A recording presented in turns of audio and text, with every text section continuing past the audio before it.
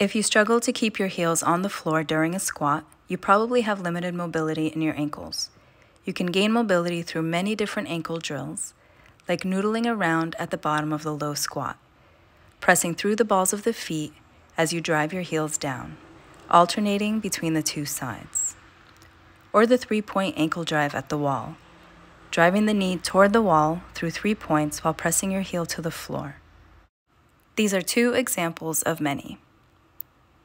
Meanwhile, to get the benefit of squatting while you work on increasing ankle mobility, you can slide small weight plates under the heel for a little lift.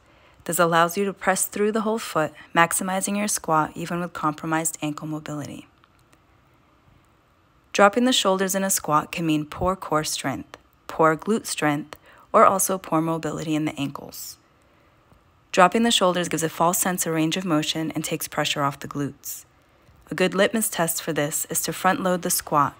This not only helps to strengthen the core, but if the weight is pulling you forward, you instantly know you've gone past your range of motion and past the limits of core strength.